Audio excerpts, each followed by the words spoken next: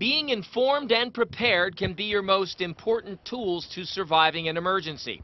The state is now using technology to make sure residents and visitors know when a potentially dangerous situation is developing and how to handle it. This, um, the app and the website together are, two tools that help people be prepared for uh, when a disaster strikes. Today's launch of the website readynh.gov is a user-friendly guide to emergency preparation. There are step-by-step instructions on how to get ready for a disaster and a detailed list of what you may need.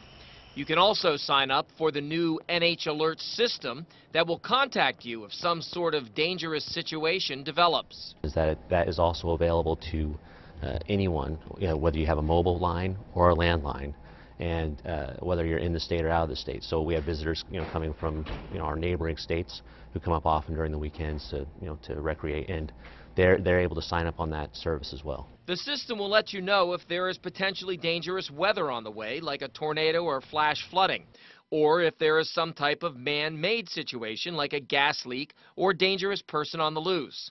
It will also recommend the best course of action, like whether to stay put or get out.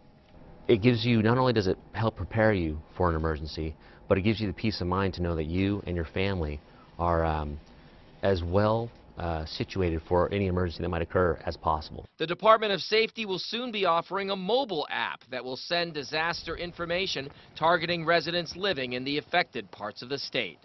In Concord, Andy Hirschberger, WMUR News 9.